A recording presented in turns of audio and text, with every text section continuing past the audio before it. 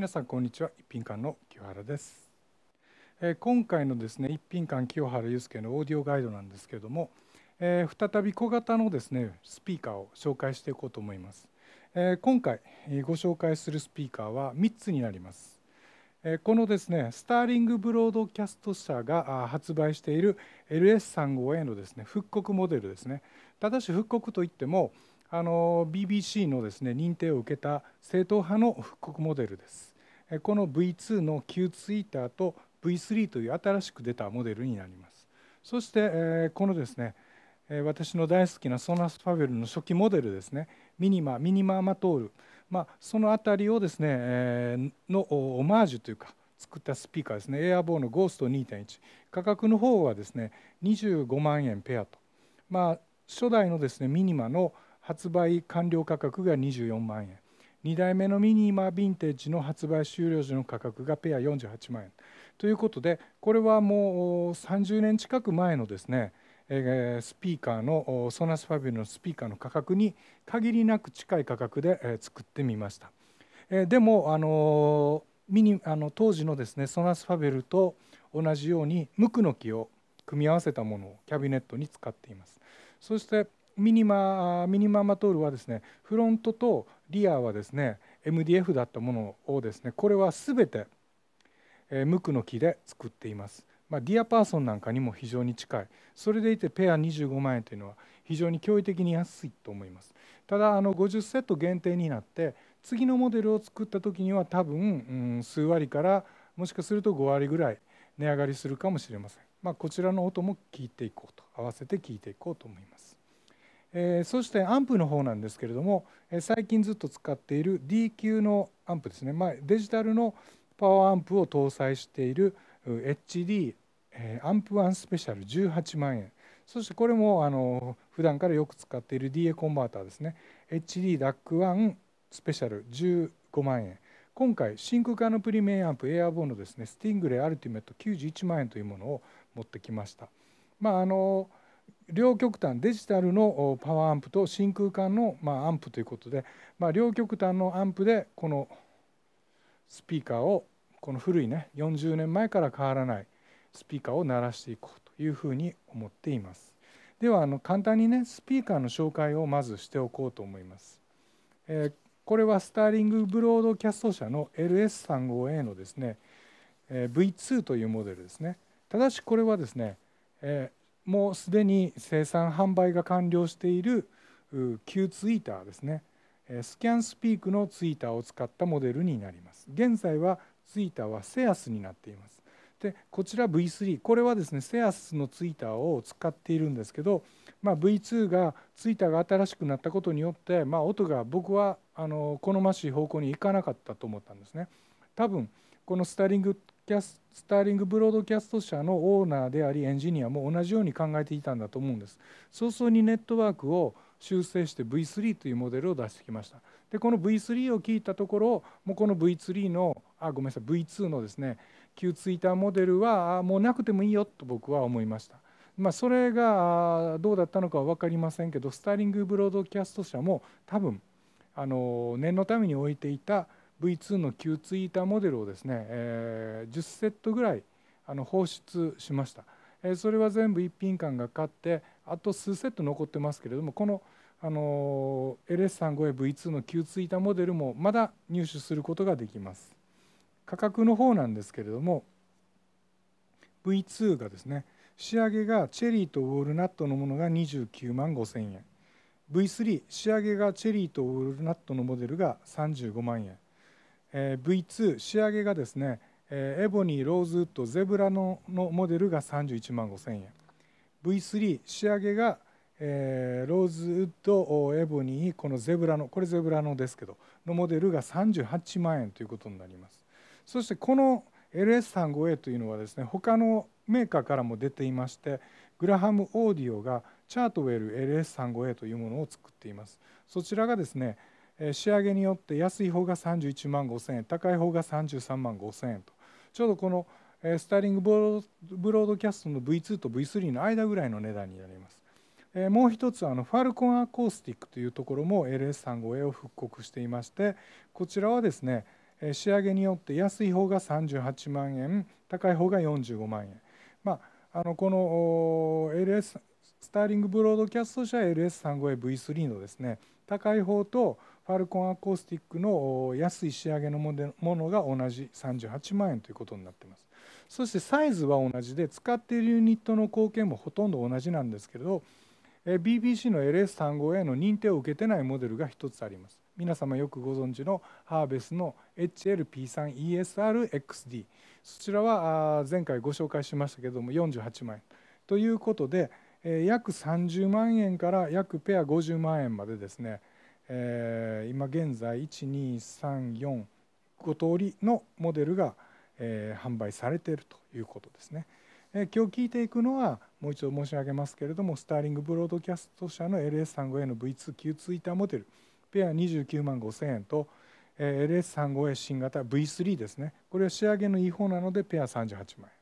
そしてもう一つエアーボーのですね。ゴースト2.1ですね。ソーナスファベルの、えー、オマージュのモデルと。いうふうになります。アンプは先ほど紹介しました。そして、まずですねこのスピーカーの聴き比べをこの2つのアンプのセットで行う前にですね、え、アクセサリーをまた簡単に紹介しておこうと思います。まあ、エアボのゴースト2.1はシングルワイヤーなのでこれは使えないんですけれども、まあ、この LS35A をですねより楽しく聴くためにですねこの銀炭線を使ったこのジャンパー線を作ってみました。これはですねこの今映っている両端がバナナのモデルが4個で2万円。両端がワイラグのモデルが4個で1万8000円ということになってます。これをですねこの LS35A に標準についてきているこの金色のですねこのジャンパー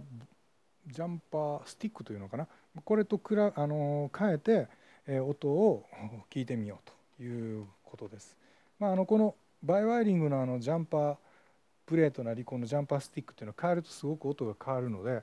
えー、まあバランスが崩れて悪くなる場合もあるので注意は必要ですけれどもあの音質改善のですね一つ有効なアクセサリーかなと思います。でスピーカーケーブルはですねこれもずっと最近これにこれを使っていますけれどもエアボーの SPK100 メーター2400円ほどのものです。まあ、高純度の OFC を使った結構太い、え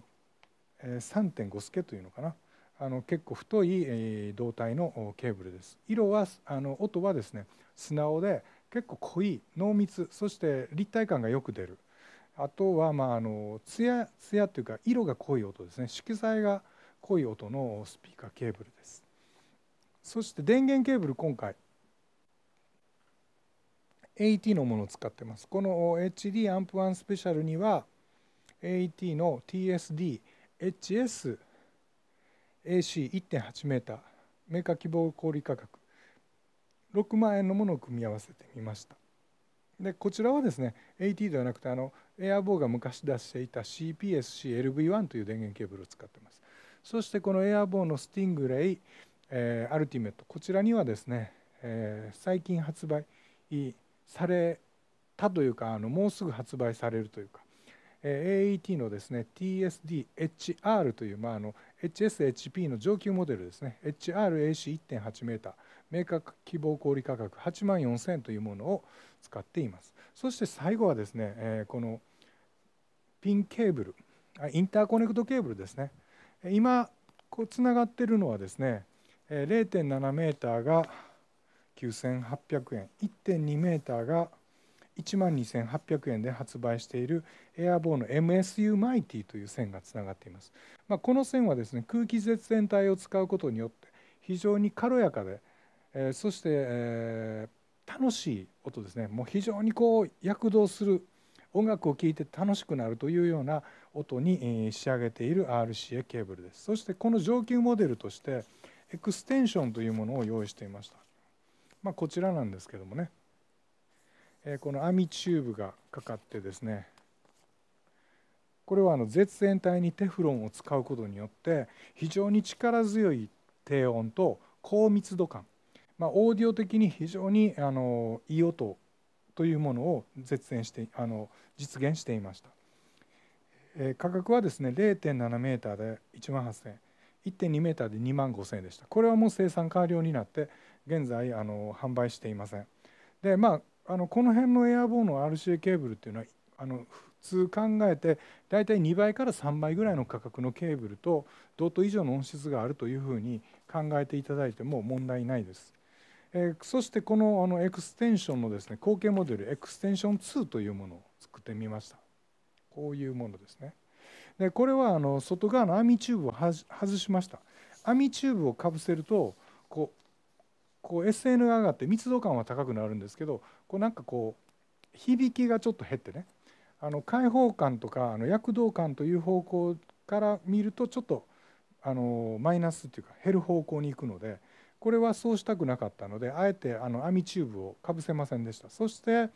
えー、やはりあのケーブルとしてはやっぱり最上級の絶縁体一番いいと思うんですけどテフロンの絶縁体を使っています。導体はあのディップフォーミングの無酸素銅ですね。無酸素銅をあの非常に丁寧に作ることによって結晶構造をですね大きくして音を音の純度が高くなるように作られている導体。ディップフォーミングの無酸素銅を使っています。そしてあと一つ重要なポイントとしてあのノンシールドですね。シールドを省いています。ノンシールドにするとあの例えばマイクケーブルとかフォノフォノアンプのケーブルに使うとですねもうノイズが入って使えないんですけど CD の信号のレベルって非常に高いのであえてシールドを入れないことによってまあこうここに交流が流れた時にあの磁界が発生するんですね。それをシールドで閉じ込めるとやはりこう音が窮屈になる傾向があるのでシールドを外して自由にのびのびとケーブルが振動してそしてエネルギーを発散して楽しく音響きがよく楽しい音の傾向を作りたいということでこのノンシールドにしてみました。これはですね95センチのものが2万2000円145センチのものが2万7000円そしてエクステンションの時にもうちょっと長いのが欲しいという声に応えて作った1.9メートルのものが3万2000円というふうになっています。でなぜこのあの95センチとか145センチとか1.9メーターとかね、え、普通の1メーター1.5メーター2メーターで切らないかということなんですけれども、え、これはですねあの導体の中を信号が流れていく時に周波数によってですね通り抜けやすい周波数と通り抜けにくい周波数っていうのが発生してくるんですよ。そして音楽信号が最も抜けやすい長さにケーブルを切っているためにこのような中途半端に中途半端な長さになっています。でも実際にこれはあの実験してみれば分かることですけれども、え最適な長さに切ったものとそうじゃないものっていうのは少なからず音の差が出てきます。これはそういう長さの部分までミリ単位の長さの部分にまでこだわって音の良さ音の抜けの良さを追求したケーブルです。えこの HD-DAC1 スペシャルとスティングレーアルティメットの間のこの RC ケーブルをですねマイティエクステンションエクステンション2に変えて音の違いを聞いてみようと思います。はいまあ、以上ですねあの結構複雑なあの聞き比べをやるんですけれどもまずはですねあのアクセサリーの聞き比べをやろうと思います。このスターリングブロードキャストの旧ツイータモデル V2 そして HD-DAC1 エアボーのですねアルティメットスティングレアルティメットの組み合わせでまずジャンあ、えー、そうですねジャンパー線とこの RCA ケーブルの聞き比べからスタートしようと思います。